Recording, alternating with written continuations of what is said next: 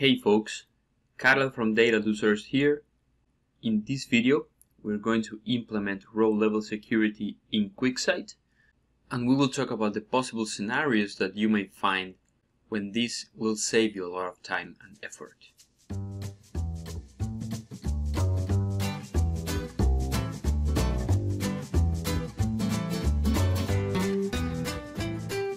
Row level security is only available to Enterprise Edition of QuickSight because the scenarios where you're going to implement this will be found in organizations most of the time. If you have multiple users or multiple groups in your QuickSight account and you want to share reports with them, then instead of building one dataset for each one of the users or each one of the groups, you can build a dataset with all the data and then filter that dataset so that the user reading it will only see the data that you want them to see.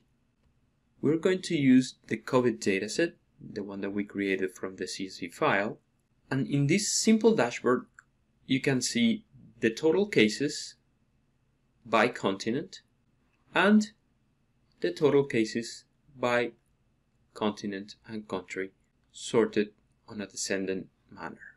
So right now I can see all the continents. Let's just imagine that we have a use case where you have multiple users or groups in your account and you want to restrict the continents that they are able to see. So you can put some mechanism in place to achieve this without having to replicate or create copies of this dataset for each one of them. So let's put this in perspective. These are the groups and users that we have in our account. We have a global group, Americas group, and Europe, and on the users we have Karel, Angel, and Simon, besides the root user, which is the one that I am currently using in QuickSight. And in my dataset, I have all these continents. Well, now we need to build something here in the middle which is going to filter the rows that each one of the users or groups can see. Now we need to build this green line. And this is actually very simple. All we need to do is create a dataset with that translation built in. For example, here we're going to have two columns, one with the usernames and with the continents. Continent is the column that I'm going to be filtering in my dataset. So what we are saying here is the user Angel is only going to be able to see the continent North America. The user Simon is only going to be able to see Europe and Karel is going to be able to see everything. If we leave this in blank, this means that this user will have no restrictions. So keep that in mind, this is like a wildcard. If we don't want a user to see anything, then we just don't include that user here.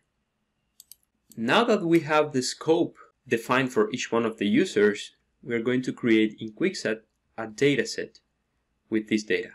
This could be kept in a CSV file on your computer. You can store it in S3 and update it regularly. You can have it in a relational database it, it doesn't matter as long as you have it as a dataset in QuickSight where you can link that with the dataset that you're going to be filtering. So let's do that. Let's jump to QuickSight and let's create a dataset for that. I already did that and as you can see here in this user single mapping dataset which is simply the sheet that I just showed you in the Excel if I look at this dataset I will see that I have my username column and my continent column and Angel will be looking at North America only, Simon will be looking at Europe only, and Karel will be looking at everything. So we have our dataset, this case is user single mapping, and this is the definition of the permissions in this case. So I'm going to save it. And now I'm going to select the dataset that I want to apply these row level permissions.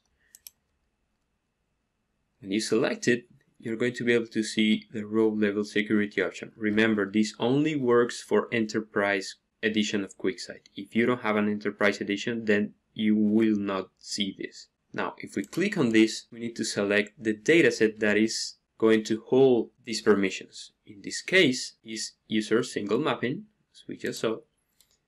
So as you can see, by default is grant access to dataset. We don't have any other option today. Let's see if they add something in the future.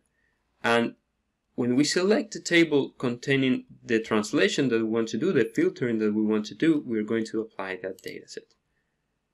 This is going to let you know after you apply the rules, we filter the data, blah, blah, blah. So this is going to filter your dataset by this table.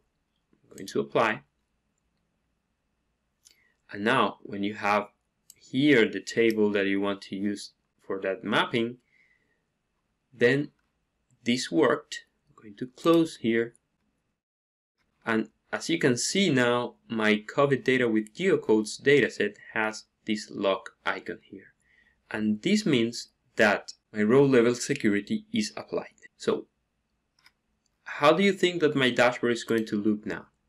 Remember that in this table I have the user Angel, Simon and Karel. If I had more users and those users are not listed here, that means that those users are not going to be able to see anything at all. So if I click on this, I'm not going to be able to see anything because remember I am signed in as the root user and even though I am the administrator I do not have the permissions to see this dataset because I am not included in this table. So if I sign out I'm going to sign in now with Angel for example and, and if you remember Angel was able to see only North America I'm signed in as Angel. I'm going to click here. And now, as you can imagine, Angel can only see North America's data. And that is what we wanted. Let's sign out with Angel. And let's see Karel. What can Karel see? And Karel, remember, was a global user. He's allowed to see everything if I come to my dashboards and take a look at it, Karel can see everything, all the continents are available to him. Let's sign out with Karel. Let's sign in with Simon, which had permissions to see Europe's data.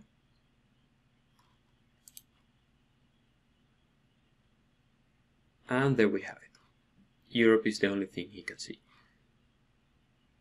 Let me go back, administration account, and you just saw how we implemented row level security when we assigned permissions at the user level to see one continent of our data. Now, let's come here, and now for each user, let's grant permissions to see multiple rows at the time. Now I want Angel to be able to see North America and South America's data, while Simon is going to be able to see Europe, Asia and Africa's data. Note that you can set this up in two different ways. You can specify the rows available to one user in the same line, separating it by a comma. Please make sure that you don't have a blank space there. Or you can set a new row for each one of the continents that this user is going to be able to see. So I have Angel with two continents and Simon with three and I'm going to keep Karel as a wildcard for my account. Now let's come back here to QuickSight and user multiple mapping is the dataset where I have the Excel sheet that you just saw. Let's take a quick look at it. And here we have two columns, user ID and continent, with Angel North American, South American, Simon with Europe, Asia and Africa, exactly the same information. So let's come back now to COVID data with geocodes and let's edit the row level security and switch it to this new user multiple mapping. Let's apply the dataset apply. And now we're going to have this error. We can't find a key column in permissions dataset. Key columns must use item names. Okay. Apparently there's something wrong with my lookup table. Let's take a look. And this is the issue. So if you see, we have user ID as this column name, and this should be username or group name if you're applying permissions at the group level. Make sure that you either have username or group name. If you have something else, this is not going to work, as you just saw. And also make sure that the column that you're using to filter matches with the name of that column in the dataset that you're filtering, right? So continent is going to have a continent column in the COVID dataset that that is very important otherwise this is not going to work. So let's save the change.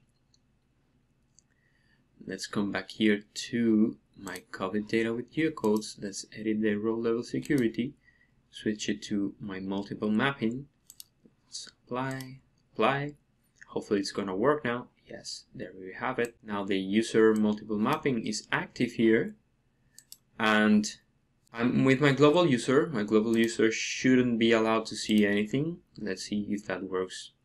Yes.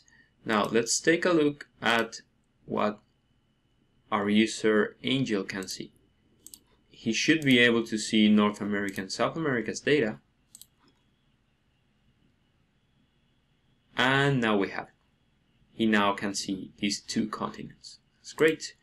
Let's see what Karel can see, remember the Karel should be able to see everything. Let's take a look at the dashboards. And there we have all the continents for Karel. And now let's check Simon. Simon should be able to see Europe, Asia, and Africa. And there, it worked. Everything looks great. Now let me go back to my administrative account.